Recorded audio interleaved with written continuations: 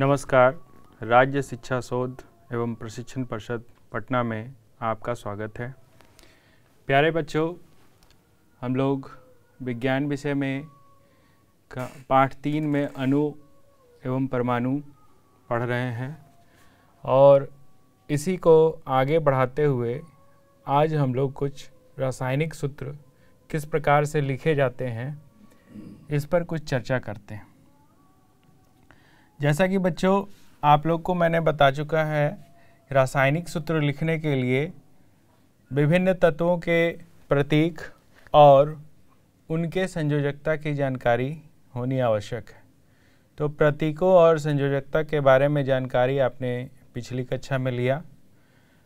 उन जानकारियों के सहायता से आज हम लोग कुछ यौगिकों के रासायनिक सूत्र लिखने की चर्चा करते हैं। तो देखिए आप लोग ध्यान से कि किस प्रकार से रासायनिक सूत्र लिखा जाता है। रासायनिक सूत्र लिखना बहुत ही आसान है और एक एक करके यहाँ पर हम उदाहरण देते हैं। यहाँ पर हमने छह यौगिकों का नाम लिखा है।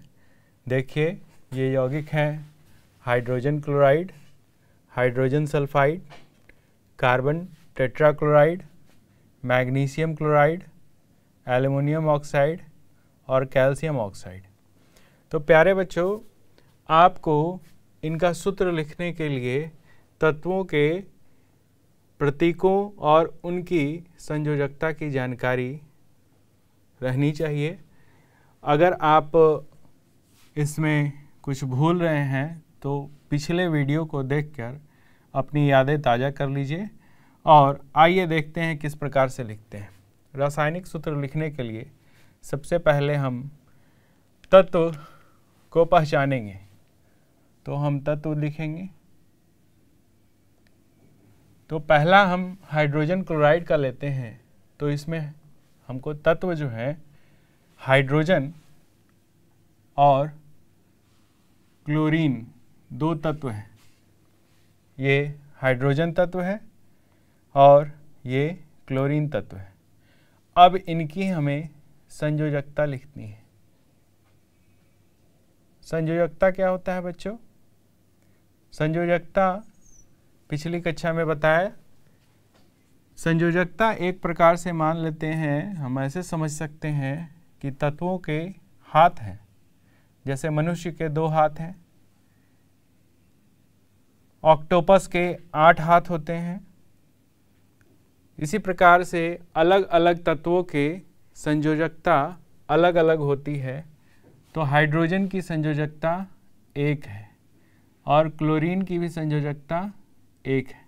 ये बहुत ही एक साधारण सा यौगिक है हाइड्रोजन क्लोराइड इसलिए यहाँ आपको बहुत ही आसानी से समझ में आएगा। तो पहला स्टेप में हमने तत्व का नाम लिख लिया, उनका संकेत लिख लिया। जैसे हाइड्रोजन क्लोराइड के लिए हाइड्रोजन का नाम लिखा और क्लोरीन उसमें है तो क्लोरीन का संकेत बता दिया, लिख दिया यहाँ पर। संयोजकता एक एक है।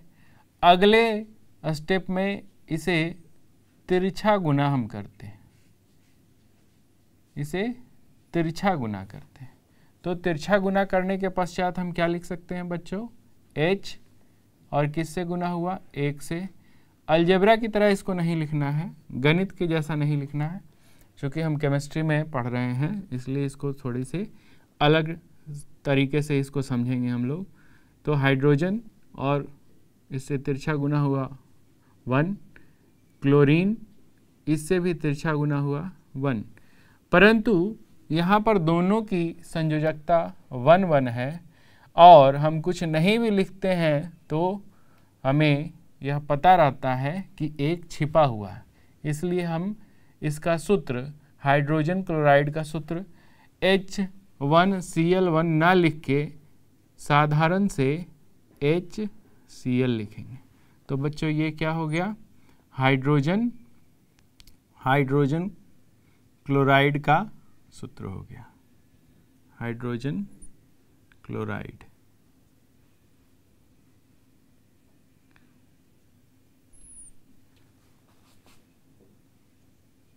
का सूत्र। तो देखा आपने बच्चों कि किस तरीके से बहुत ही आसान स्टेप में हम किसी भी यौगिक का सूत्र लिख सकते हैं। आइए दूसरा लिखते हैं। Hydrogen sulphide. पुनः यहाँ पर हम तत्व लिखेंगे। तत्व हमारा है हाइड्रोजन। और क्या है? सल्फाइड लग रहा है, यानी कि दूसरा तत्व हमारा सल्फ़र है। बिल्कुल सही। अब हमें उनकी संयोजकता लिखना है तो फिर से हम संयोजकता लिखेंगे। शुरुआत में बच्चों, थोड़ी हम स्टेप बाय स्टेप लिखेंगे। बाद में जब आप इसमें महारत हासिल कर लेंगे तो ये तत्व, संयोजकता, ये सब बार बार लिखने की ज़रूरत नहीं है। अभी हम समझाने के लिए इसे बार बार दो तीन बार लिखेंगे, ताकि आपको अच्छे तरीके से यह स्मरण हो जाए। तो हाइड्रोजन की संयोजकता कितनी है? एक, बिल्कुल सही, क्योंकि ऊपर में भी आपने देखा कि एक लिखा था मैंने। और सल्फ़र की संयोजकता कितनी हो जाएगी बच्चों? सल्फ़र की संयोजकता हो जाती है दो। यह संयोजकता कुछ आपको याद करना होगा। इसके लिए पिछले स्लाइड्स में, पिछले क्लास में मैंने बताया था, उन स्लाइड्स को, उन वीडियो को देखकर आप संयोजकता स्मरण रखेंगे। इससे आपको सुविधा होगी। अब अगले चरण में क्या करना है? तिरछा गुना करना है तो इसको भी तिरछा गुना कर देंगे। और हम यहाँ पर हाइड्रोजन दो हो गया और S अब एक यहाँ पर हम नहीं लिखेंगे क्योंकि एक हमारा छिपा हुआ है, इसलिए H2S हाइड्रोजन सल्फाइड का सूत्र हो गया।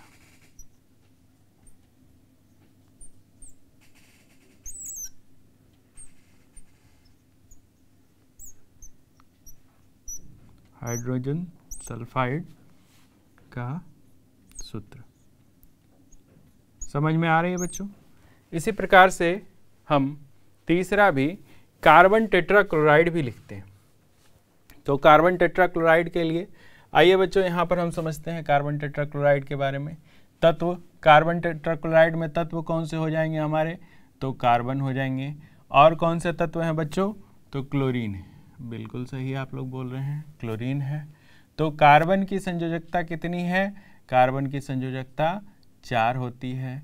और क्लोरीन की संयोजकता कितनी है बच्चों? क्लोरीन की संयोजकता एक। बहुत अच्छा। तो हम इसे फिर से तिरछा गुना करेंगे। और सी, एक है बच्चों तो एक नहीं लिखेंगे क्योंकि एक छुपा हुआ है।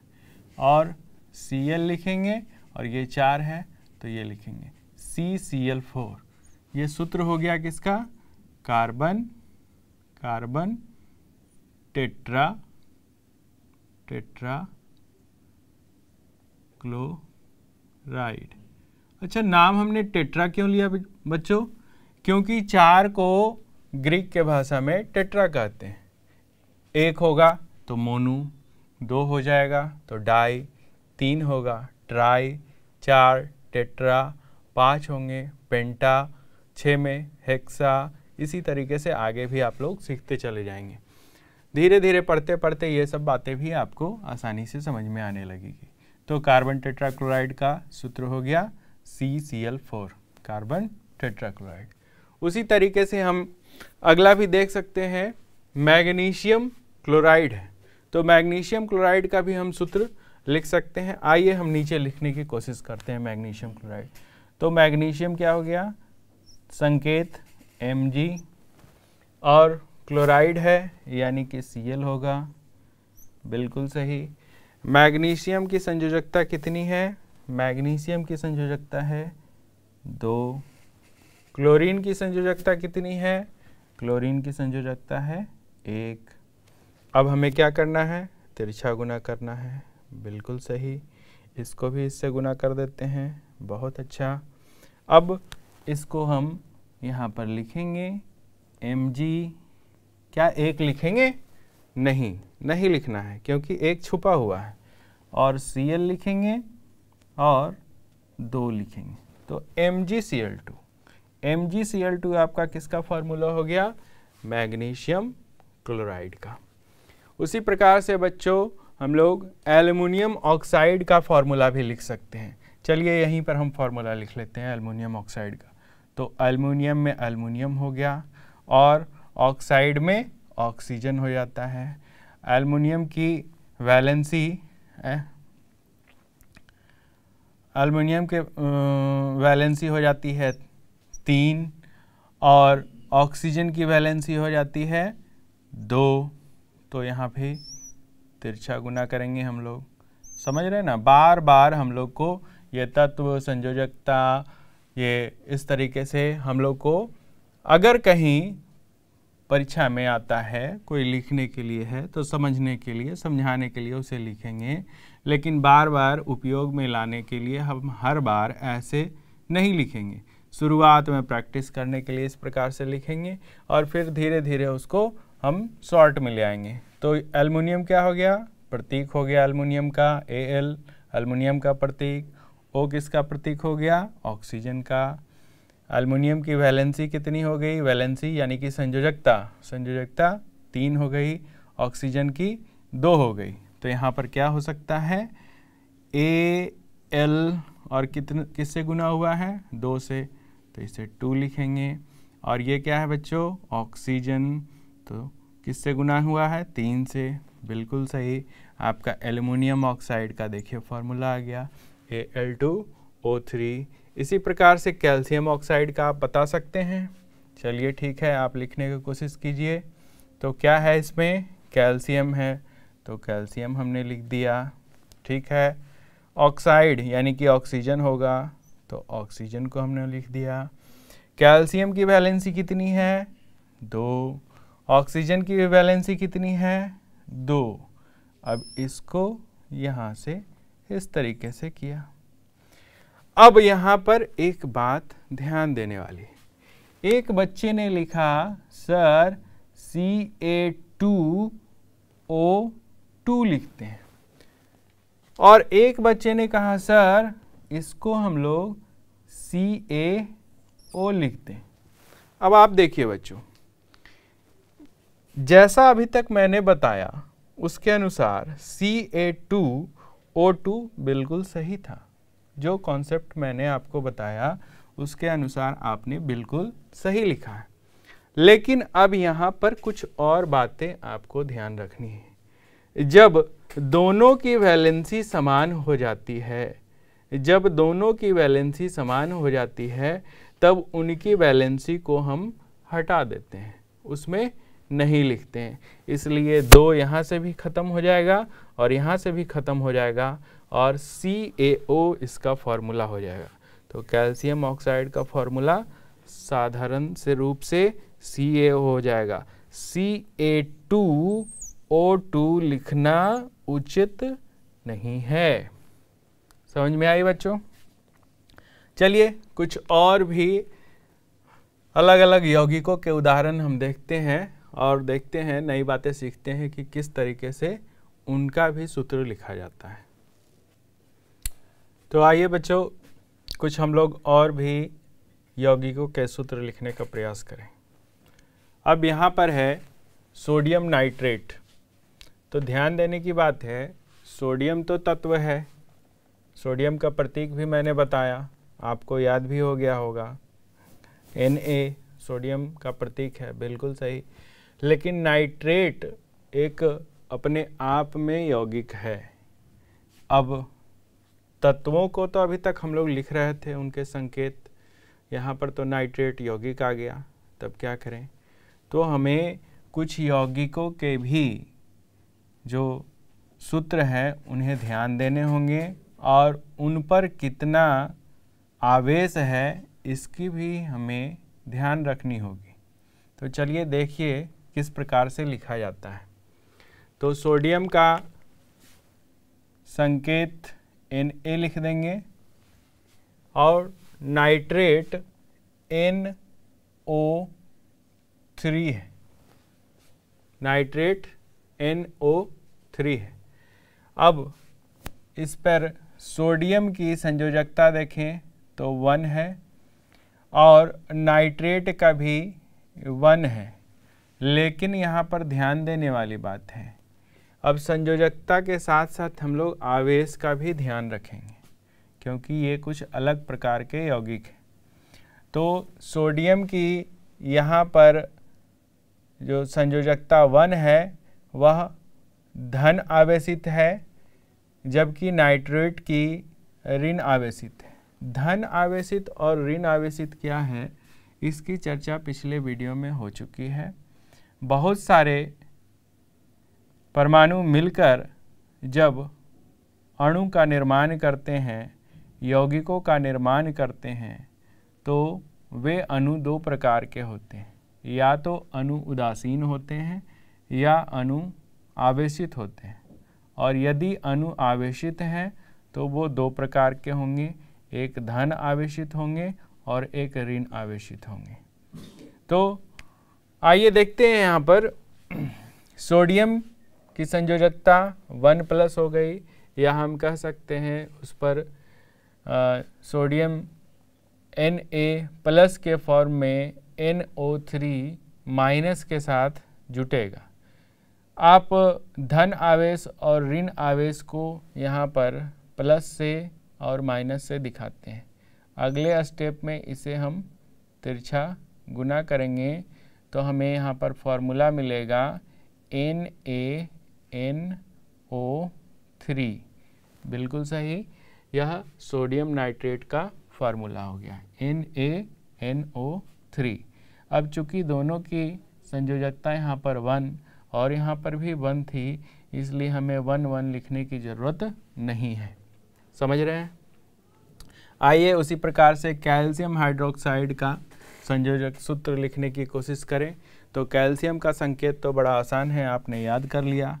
सी ए और हाइड्रोक्साइड कोई तत्व नहीं है, यह यौगिक है और यौगिक भी कैसा है, इसमें ऋणायन है, यह इस पर निगेटिव चार्ज है। तो ये ओ OH एच हो जाएगा और ओ एच माइनस वन होता है। तो इसका कैल्शियम का वैलेंसी हम लिखते हैं।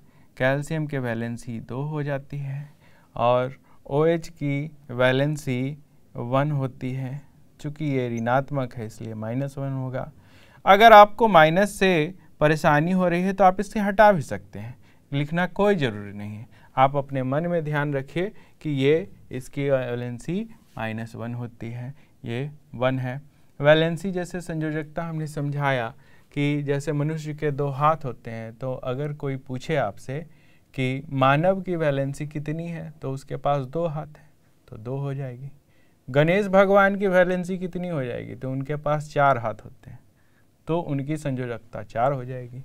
तो आपको संयोजकता ध्यान रखना है कि वह कितने लोगों के साथ दोस्ती कर सकता है हाथ पकड़ के, उसी प्रकार से रसायन शास्त्र में भी यहाँ पर अलग अलग तत्व जो है अलग अलग तत्वों के परमाणुओं से जुड़ते हैं और अलग अलग प्रकार के यौगिक का निर्माण करते हैं।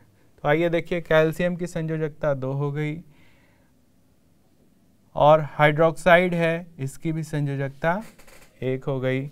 अब क्या करना है हमें? हमें तिरछा गुना कर देना है। अब यहाँ पर फिर एक समस्या आई। कि कैल्शियम को तो हमने लिख दिया सी ए और ओ OH को लिखा, और ये दो से गुना हो गया। अब आप पूछेंगे कि सर दो ओ के पास लिखें या एच के पास लिखें? ये एक समस्या आ रही होगी आपको। तो इस समस्या के निराकरण के लिए हमें इसे ब्रैकेट में डाल देना है और इसे दो लिख देना है। अर्थात कैल्शियम हाइड्रोक्साइड में कैल्शियम के एक परमाणु आएँगे, ऑक्सीजन के भी दो परमाणु जुड़ेंगे, हाइड्रोजन के भी दो परमाणु जुड़ेंगे, तब मिलकर कैल्शियम हाइड्रोक्साइड के एक अणु का निर्माण होगा। चलिए बच्चों, हम लोग आइए सोडियम कार्बोनेट की लिखने की कोशिश करते हैं। तो सोडियम का प्रतीक हो जाएगा एन ए ठीक है? कार्बोनेट CO3 सोडियम का वन होता है कार्बोनेट का टू हो जाता है वैलेंसी तिरछा गुना कर देंगे। क्या आ जाएगा? N A two C O three अब क्या इसको भी ब्रैकेट में डाल के वन लिखने की आवश्यकता है? जी नहीं। बिल्कुल नहीं, क्योंकि वन छिपा हुआ है। इसलिए हम वन नहीं लिखेंगे। चलिए, अमोनियम सल्फेट को देखते हैं। अमोनियम भी एक आयन, यौगिक है, सल्फेट भी एक आयन है। तो अमोनियम हो गया N H four, ammonium ion हो गया, और सल्फेट एस ओ फोर। इसकी वैलेंसी हो जाती है वन, और सल्फेट की वैलेंसी हो जाती है टू। अब देखिए, इसको गुना करते हैं हम लोग।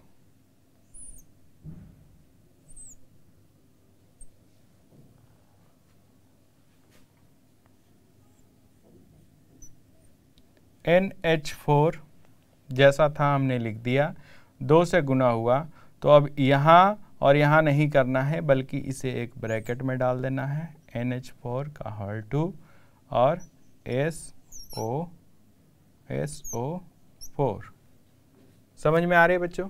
अमोनियम सल्फेट का, एन फोर का whole two, S O four. चलिए कुछ और जो है आपके किताब में, आपके एक्सरसाइज के लिए दिए गए हैं, उनका भी हम फार्मूला यहाँ लिखने की कोशिश करते हैं। आइए बच्चों, देखिए, सोडियम ऑक्साइड। तो सोडियम क्या करें? सोडियम के लिए Na लिख दिया हमने, और ऑक्साइड के लिए ऑक्सीजन है। सोडियम की वैलेंसी वन है ऑक्साइड की वैलेंसी दो है, बिल्कुल सही। तिरछा गुना कर दिया हमने, आ जाएगा एन ए टू और क्या लिखेंगे बच्चों? ओ बिल्कुल सही। एल्युमिनियम क्लोराइड का लिखना है। अब आप समझ रहे होंगे, लिखिए मेरे साथ साथ, आप फिर लिखिए एलुमिनियम हो गया, क्लोराइड में, यानी कि क्लोरीन है तो सी होगा एलुमिनियम की वैलेंसी कितनी है? तो एलुमिनियम की वैलेंसी तीन है, क्लोरीन की वैलेंसी या संयोजकता। संयोजकता को ही अंग्रेज़ी में वैलेंसी कहते हैं। तो कोई व्यक्ति अगर वैलेंसी बोल रहा है तो आपको समझ जाना वो संयोजकता है। तो यहाँ इसे तिरछा गुना कर दिया हमने और A L C L three aluminium chloride बन गया। चलिए सोडियम सल्फाइड का देखिए। सोडियम बहुत आसान है। एन ए और सल्फाइड यानी कि सल्फ़र है तो एस हो गया। सोडियम की वैलेंसी वन सल्फ़र की वैलेंसी टू यहाँ तिरछा गुना हो जाएगा। और क्या आ जाएगा बच्चों? एन ए टू एस बिल्कुल सही। मैग्नीशियम हाइड्रोक्साइड आप लिख सकते हैं, बहुत आसान है। मैग्नीशियम के लिए एम जी हाइड्रोक्साइड के लिए ओ OH मैग्नीशियम की वैलेंसी दो हाइड्रोक्साइड की वन यहाँ गुना हो गया या यहाँ गुना हो गया एम जी ओ एच का और टू तो इस प्रकार से देखा बच्चों आपने कि बहुत सारे ही आ, अलग अलग यौगिकों के सूत्र हमने लिखे और ये बहुत आसान है। इसको लिखने के लिए आपको बस कुछ बातों को ध्यान देनी है। तत्वों के प्रतीक, उनकी संयोजकता, अगर यौगिक बना है तो उनके प्रतीक क्या हैं? उनके आवेश कण कितना है? कितना उन पर आवेश है? इन बातों को अगर आप ध्यान रखेंगे तो बहुत ही आसानी से आप किसी भी यौगिक के सूत्र लिख सकते हैं। आइए बच्चों, अब आप लोग को कुछ सूत्र दिए गए हैं, उनके रासायनिक नाम लिखना सिखाते हैं। अभी तक आपने क्या कर रहा था? रासायनिक नाम दिए गए थे, आप उनके सूत्र लिख रहे थे। अब ज़रा उल्टा चलिए। सूत्र यहाँ पर दिए गए हैं और इनके रासायनिक हमें नाम लिखने हैं। तो रासायनिक नाम लिखना भी बहुत आसान है। सबसे पहले दिए गए सूत्र में से हमें तत्वों को या फिर यौगिक जो उनके साथ हैं, उनको पहचानना होगा। तो आइए पहला हम शुरू करते हैं। A L two S O four का हॉल थ्री ठीक? अब देखिए, उल्टा हम चलते हैं यहाँ पर। एल्युमिनियम होगा, बिल्कुल सही। और सल्फेट होगा एस ओ फोर ठीक? अब तिरछा गुना कर रहे थे, यानी कि ये उतर के यहाँ चला आएगा और ये उतर के यहाँ चला आएगा। ठीक? अब इसका नाम हम यहाँ से देख रहे हैं। ये अल्मीनियम है और ये सल्फेट है। इसलिए इसका नाम क्या हो जाएगा? एल्यूमिनियम एल्यूमिनियम, मिनियम सल्फेट। तो इस प्रकार से देखा आपने कि जिस सूत्र लिखने में हम पहले प्रतीक लिख रहे थे फिर उसके संयोजकता को लिख रहे थे। यहाँ पर उसे ठीक उल्टे क्रम में तोड़ देना है, तोड़ के अलग कर लेना है। शुरुआत के लिए जब आप धीरे धीरे अभ्यस्त हो जाएँगे तो ऐसा भी करने की ज़रूरत नहीं है। आप सिर्फ़ और सिर्फ़ नाम देखकर उसके नाम को, तत्वों के पहचान कर, यौगिकों के पहचान कर उसके नाम लिख सकते हैं आप। चलिए दूसरा देखते हैं। सी ए सी एल टू ये हमारा यौगिक का फार्मूला दिया हुआ है। तो नाम आप पहचान रहे होंगे। सी ए यानी कि कैल्शियम है। और सी एल टू यानी कि ये क्लोरीन है। इसलिए इसका नाम हो जाएगा कैल्शियम क्लोराइड।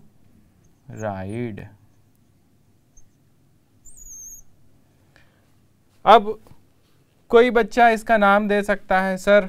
ये कैल्शियम है और ये क्लोरीन है तो इसका नाम कैल्शियम क्लोरीन क्यों नहीं हुआ? प्रश्न आती है कि सर, इसका नाम कैल्शियम क्लोरीन क्यों नहीं हुआ? तो बच्चों, इसको जब हम तोड़ेंगे तो देखते हैं कि इस पर किस प्रकार से कौन से चार्ज हैं। तो कैल्शियम पर टू प्लस चार्ज है और सी पर वन माइनस चार्ज है। अब जब माइनस चार्ज आ गया तो इसका नाम क्लोरीन ना रह के क्लोराइड हो जाएगा। परंतु यह धातु है, इसका नाम कैल्शियम ही रह जाएगा। तो इस प्रकार से इसका नाम कैल्शियम क्लोराइड हो जाएगा। चलिए, यहाँ देखते हैं। K two S O four K two S O four मेरे साथ साथ आप लोग भी प्रैक्टिस कीजिए अपने नोटबुक पर। अलग कीजिए। ये पोटेशियम हो गया, बिल्कुल सही। ये एस ओ फोर एक साथ जाएगा क्योंकि यह एक सल्फेट आयन है। इसका नाम है एस ओ फोर का नाम। एस ओ फोर एक आयन है। इसका नाम S O four two minus होता है। सल्फेट आयन होता है इसका नाम। इसका नाम सल्फेट आयन है। सही? तो SO4 को अलग अलग हम नहीं करेंगे। ध्यान रखना है, सल्फ़र को, ऑक्सीजन को अलग अलग नहीं करेंगे। यह एक सल्फेट आयन एक यौगिक है और पोटेशियम इसमें अलग है। तो यहाँ पर सल्फेट की संयोजकता दो हो जाएगी, पोटेशियम की एक है। यहाँ पर इस संयोजकता को हम छोड़ देंगे। यहाँ पर पोटेशियम है और सल्फेट है। तो हम इसका नाम क्या देंगे? इसका नाम देंगे पोटेशियम पोटेशियम सल्फेट।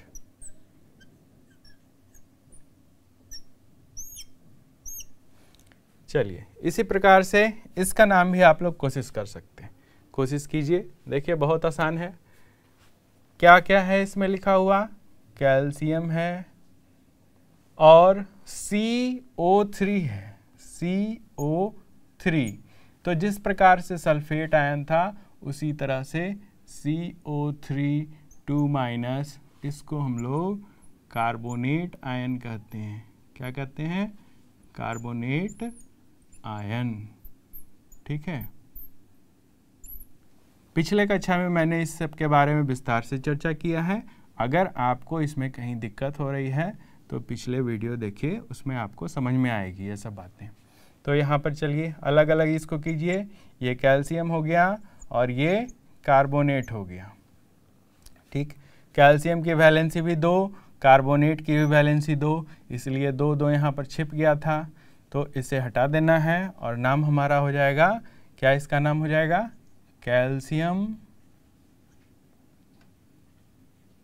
कैल्शियम, बताइए, और CO3 है तो कार्बोनेट। तो इस प्रकार से बच्चों हमने आज बहुत सारे यौगिकों के सूत्र लिखना सीखा और दिए गए सूत्र से उनके नाम लिखना भी सीखा। आप प्रैक्टिस करिए, अपने किताब को पढ़िए, देखिए उसमें भी बहुत सारे यौगिकों के नाम उनके सूत्र दिए गए हैं। आप पढ़ने के दौरान उन्हें छाट कर अलग करके लिखिए धीरे धीरे आप अभ्यास करेंगे तो आप रासायनिक यौगिकों के सूत्र लिखना, सूत्र से उनके नाम लिखना बहुत आसानी से सीख जाएँगे। तो बच्चों, आज के लिए वीडियो में इतना ही। मिलते हैं अगले वीडियो के साथ। तब तक के लिए पढ़ते रहिए, मुस्कुराते रहिए। धन्यवाद।